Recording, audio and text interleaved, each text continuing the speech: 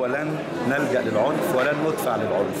لكن آه، بهذا الصمود الأسطوري اللي, آه، معتصمين سلميين بيحملوا كل يوم الشهداء على أيديهم لكن يقرروا بأنهم سيقفوا في صمود لآخر نفس في الحياة يقولون لا آه، أظن أن هذا سينتصر على العنف والإرهاب الذي يمارسه الجيش.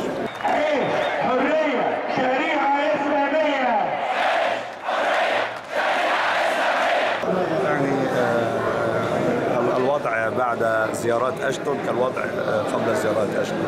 إذا كانت زيارات إذا كانت أشتون التقت الرئيس في بعد إنساني فكان ال- الأخلاق تحتم عليها آه، أن تطالب آه، ليس أن تزور الرئيس لكن أن أن أن يتم إنهاء خطف الرئيس وأن يلتقي الرئيس بأسرته وأن يلتقي الرئيس بمحاميه.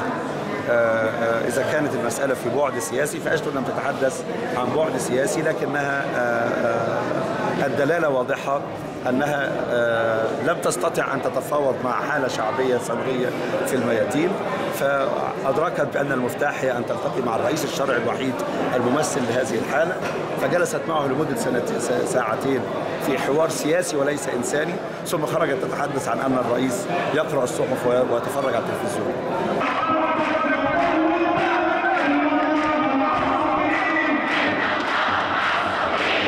التفاوض الوحيد الذي أو الرسالة الوحيدة التي تصلنا من آه، عبد الفتاح السيسي والإنقلابيين هو القتل والترويع والخطف وتلفيق القضايا.